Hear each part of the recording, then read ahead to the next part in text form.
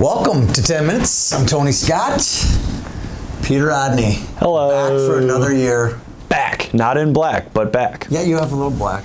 There. Well, I got the sweatshirt, the uh, sweatpants, and the socks, but I'm not back in black. yeah, well, that's fantastic for sharing us your your uh, sweat. You're wearing sweatpants on the show today. Nike sweatpants. Nice. Oh, good. Yeah, good. thank you. I know. I know what I'm doing. Well, we're wearing a lot more than that. We got are. a sweet hat today. I'm never taking this off. It, you called it a toque. It's a toque. Yeah, okay. It's a toque. Whatever you want. Uh, we're, we don't live in Canada. We're Americans. There- that that's a hat sitting over there. This is a toque. Okay, great. T O U Q. Uh, what is the hat for? I don't know. It is, uh, there's a foundation in Moorhead. There's a foundation in Warroad that are very complementary uh, mental health uh, foundations. This one is the Eli uh, Johnson Memorial Tournament that's going to be coming out of Moorhead uh, December 11th to the 13th. Uh, Eli was a former Spud hockey player and obviously a great baseball player. Played played baseball at uh, Concordia. Uh, he died from suicide on 9/11 in 2017. Um, he's still teaching important lessons today. Absolutely. So shout out to Eli. Shout out to people at Moorhead uh, for the hats, the toques, whatever you want to call it. Uh, I, love this style. This is really I, I enjoy the style, and I hope it. I hope it uh, encourages people to ask, "Well, what is that?" And you And tell them all about the foundation. What we're gonna do? We're I- gonna put the hammer down. Hockey, I think, as a community, has been really open about discussing mental health, and it seems more, like more so than any other sport. pretty much the hashtag um, Bell's talks. Bell, Bell Let's Talk that Yeah. flies around every every year. So kudos to the hockey community for being open and having a discussion about mental Yeah, health. two of my favorite communities, Moorhead and Warroad, have been stricken by this, and uh, instead of uh, putting their head in the sand, they're uh, standing up. do something about it. They're taking after it. Speaking of Moorhead, we are going to Moorhead. My homeland. Yes, we are. We're going to Moorhead uh, Thursday night for an early morning Blue Ox. Almost too early. I'm excited. Y'all tripping if you're showing up at 6:30 in the morning. They will. They'll be there. They'll If be I don't have a coffee in my hand, don't ask me where the bathrooms are. Don't ask me any questions. Yeah, Mr. Tough Guy. uh, reminder that uh, today's show is brought to you by Map South. We got a lot on the plate today. You We ready to do. So let's start eating. Okay, before we do a quick shout out to Map South. Uh, great uh, hockey training facility, year-round training. Right now, there's some because of the the COVID, they've extended their training programs uh, for up until December 1st.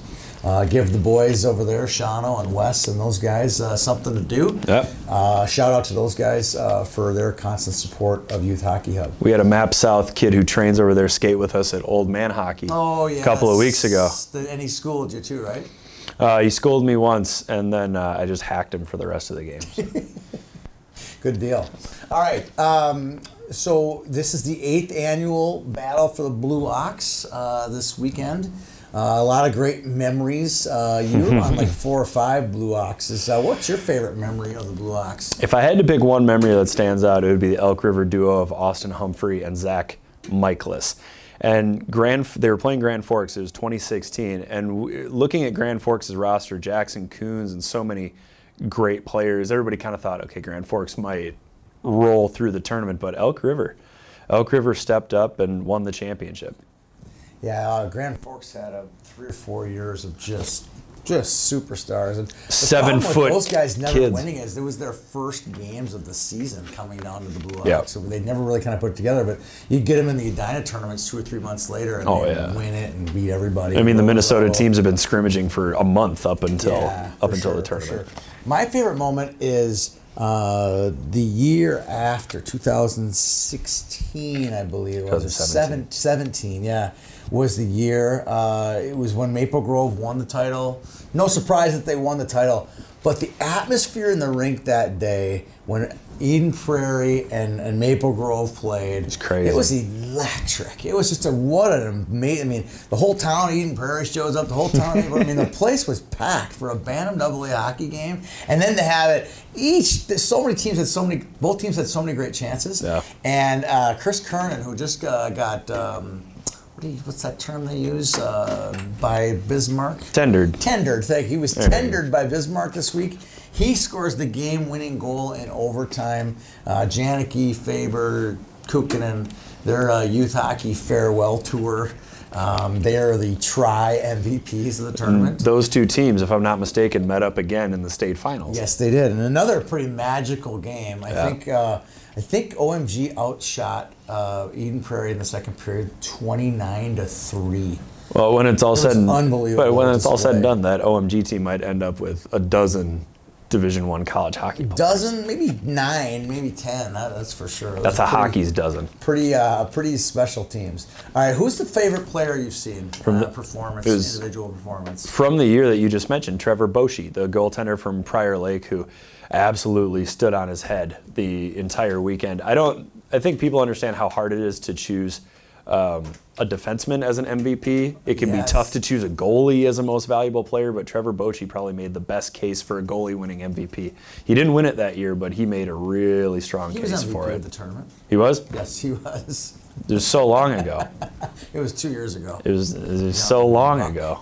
All right. Uh, there's been a lot of great players. I mean, the list of great players who played ton. this tournament. You know, Bobby Brink was an MVP, and the one that really stood out as a kid. It's really hard to be named the MVP of a tournament when Yeah. your team does not win. Oh, it's next to impossible. You know, I'm standing there with the MVP trophy and standing over, it, and there's like. Uh, there's your uh, Elk River duo, you know, Yeah. um, of Who probably had four points in the championship game. Yeah, they were awesome. Uh, Michaelis and Humphrey. Humphrey, uh, they were awesome, right? Um, but I'm just standing. I'm like, I, I would be remiss if I didn't give the MVP to Jackson Kunz. Jackson who was Kunz. just magical. So that was there's my greatest player, favorite player that I remember from the tournament.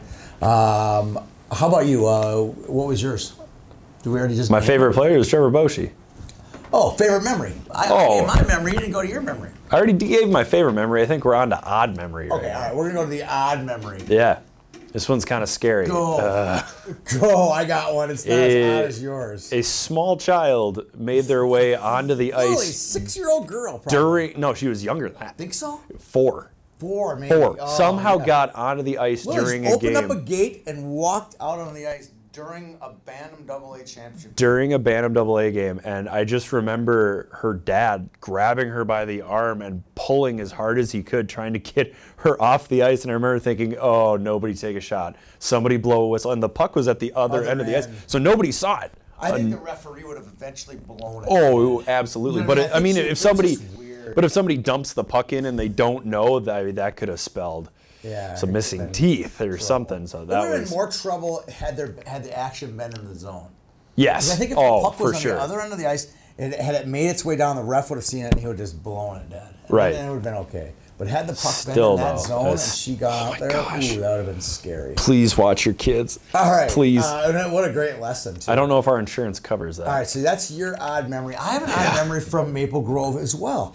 Literally, uh, Literally. early morning of the Sunday, so it's Championship Sunday. Yeah. Um, I, I think what we do in that format, we were playing a bunch of, I hate to say it, meaningless games, like friendship type Well, games, consolation. Consolation type games. Uh, championship game scheduled for 2 o'clock or 3 o'clock, Yeah. whatever. And next thing Never I know, again. there's a crater about the size of a manhole all the way down to the cement. and we were literally, you know, putting snow in, covering it up. Nothing was taken. Spraying It water bottles spraying on it. water, the whole deal. Uh, we ended up uh, canceling two games and moving them over to Osseo East, canceling a bunch of district games and getting kicking those teams, 10A teams and squirt teams or whatever, out of the building and moving these teams into that ice. It was a, a miracle for sure by the tournament committee uh, from Maple Grove to pull that one off. So there's my weird moment. What was your cool moment? My cool moment was the opening of the Cullen Hockey Center Which was last, last year. year. So I wasn't there for the official opening, but I was there when they broke ground. Yeah. And you, it was. I think I cried. I mean, I'm there taking pictures, and I thought I'd run up there, do the story, and come back. And you just start talking to all of these people that are so emotionally Passionate. invested Yeah. in ex- expanding. Uh, the Shields family was there. Matt Cullen was there throwing dirt around. It was that was a pretty cool moment to be a part of. So the fact that Moorhead has matured enough to the point where they have enough ice to, you know, accommodate all of their players, it's it's kind of like watching uh, a kid grow up. Yeah, it really, and watching the program just keep growing. Yeah. So that's exciting. Mine uh, happened in District 15 as well. The first year of the Blue Ox, we had a banquet. Yes, Oh, a banquet the night, uh, the first night of the tournament. And here I was, we were a year or so into YHH, probably our second tournament ever that we had hosted, and I'm putting a banquet on.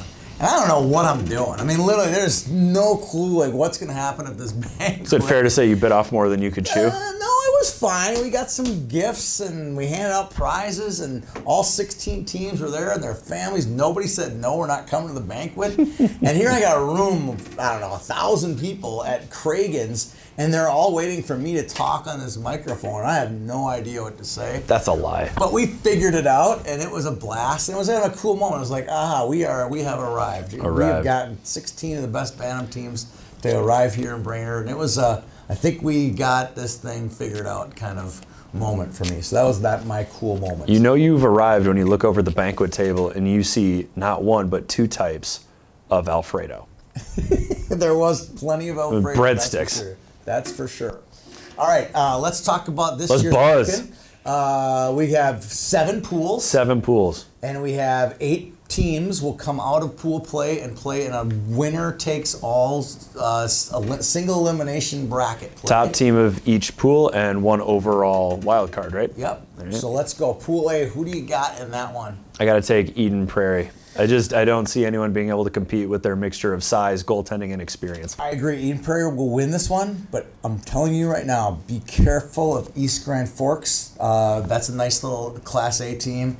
Uh, they got a lot of talent. I think they're probably the favorite uh, to win the state Class A title this year. Really? Yes, and St. Cloud beat Elk River last night. I They think did. that's a sneaky little team as well. Careful of St. Cloud. Pool B. This is I the best pool because I have two top ten teams in the same pool. This is this is tough. I'm gonna go with Fargo. Really, and you didn't Yep. either one of them. Chaska Chan and Osseo Maple Grove are both top 10 teams. They're in the same pool. Winner of that game, I believe, Chaska and Osseo Maple Grove will go on to pool, go on to bracket. play. Okay. I think if Fargo can get one of those teams into a track meet, we saw a lot of these kids play last year during the Founders Cup, and their scores were all eight to six, seven to five. If they can get those teams in a track meet, I think Fargo could pull it off. Uh, okay. All right. All right. I, I like I like Fargo. I just don't. They played on the big stage. They played on ESPN for Little League World Series for crying out loud. one kid. Maybe, They know what it's like. Maybe two or three of them. They know what it's like. All right. Yeah. Okay. All right. Uh, pool C. I have my I have my dark horse in this pool. Yep. Which is the Grand Forks Aviators, and I have uh, Tonka coming out of this pool as well. I have Minnetonka coming out of this pool. How do you argue with a team that's got Drew Stewart? It's so good. I That team is so good. I wonder if his wrist shots hit 100 The top four teams in the state are so good. Wayzata, Eden Prairie, Minnetonka, and Edina. That those four are, Oh, Lake are Conference. really good. Yeah, I know, really. If you don't like the Lake Conference, uh, you can turn this show off right now. The next century is going to be a bummer It's going to be you. a bummer. All right, Pool D, who do you got? Hermantown. Oh, uh, I like Tonka A. They begged to get in this tournament. They wanted to be in this tournament. They want to play against these teams. There's a lot of good talent there. Remember we were just talking about Tonka Double A? Yeah. There's a lot of good hockey players that were playing PBAA last year. I don't. I don't Tonka. disagree, but I think a lot of good players. Hermantown's the top. Stillwater is sneaky. Stillwater bet, and Hermantown have Sneaky. played. They've tied once, and I think Hermantown once. And then West Fargo, we don't know much about. We know a few of their players from the Bantam Elite League. Um, I think they'll be good, but I think they're going to run into uh, some trouble with Stillwater and Hermantown. All right, uh, Pool E. Oof. You're going to pick White Bear, aren't you? Go ahead. I'm gonna pick White Bear Lake. I'll take White Bear Lake. I'll take White Bear. I'm not gonna pick Edina. I'll take White Bear Lake. You just hate Edina, don't you? I don't you ha- I don't you hate Edina Edina. on, on the staff. I don't hate Edina. I'm just saying like I like. more than I do hey, that White Bear. Lake group is incredibly close. They've got great chemistry. They've got a good coach, and they've got young. Conrad They're Fonder. Very young.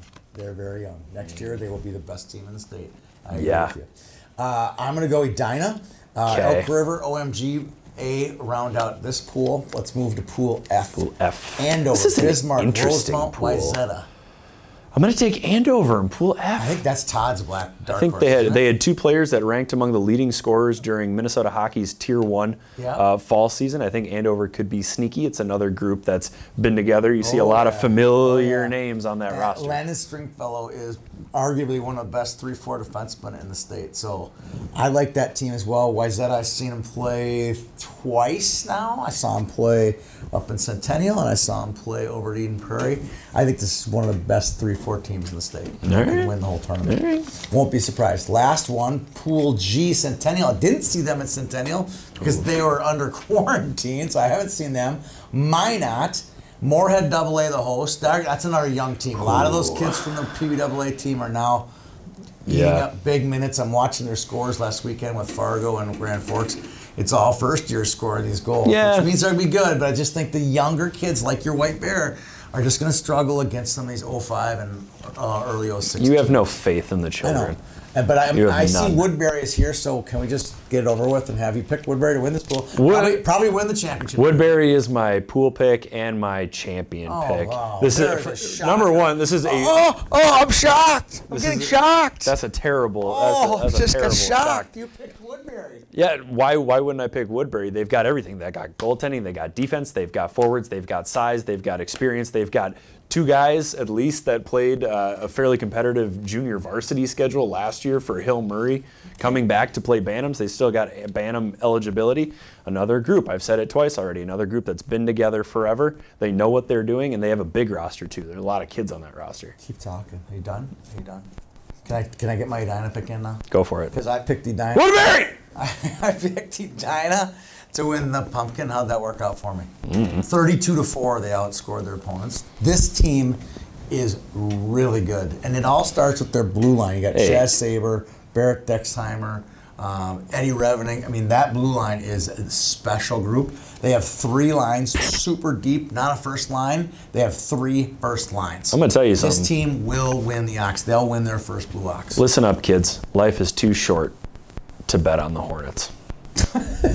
Is that what you got? Yep. That's all you could come up with? I'm gonna take Woodbury. I don't care what All you right, say. so you got Woodbury. Uh, my dark horse is Grand Forks. Your dark horse is My dark horse is um, I just picked them. who? What did I do? Uh, Fargo. No, I can't even read it. White Bear Lake. You picked them to win the pool, Yeah, and they're my dark horse. and your dark horse. Okay. all if right. you make it out of that pool, I think you got a hell of a I- shot, right, heck of a I shot. I to go all the way to the I agree finals. with that. All right, a couple reminders. If you're coming to Moorhead, especially for the parents, if the parents are watching this, kids don't need to watch it. Kids No, gonna- kids should also yeah, they watch need to watch it too. You walk in the main entrance at the Cullen Hockey Center, and whatever building you go to, you leave from that building. Okay, there's three buildings. If you go into the Bushy building, you're gonna leave the Bushy building. You leave your rink. One in, You don't three get to out. come out. So you go you go into one main entrance, but you leave the building or, or rink that you were in. I think Just that remember that. That's going to be harsh. We're going to be very, very sticklers on that. Uh, get your stuff off. Get take your helmet, gloves off, and get out of the rink. Let's stay safe. Nice article by you, Where- way, talking about how locker rooms should be closed. wear your mask, use your best judgment away from the rink. Please, Please. please, give the players their best chance to make it through the season. It ain't about you, it ain't about us, it's about those players who deserve, deserve a full season. So let's do our best. Let's do it. For Peter Odney, I'm Tony Scott. Thanks to our sponsor, Map South Hockey, for bringing us today's show. We'll see everybody up in Moorhead. Go Blue Ox.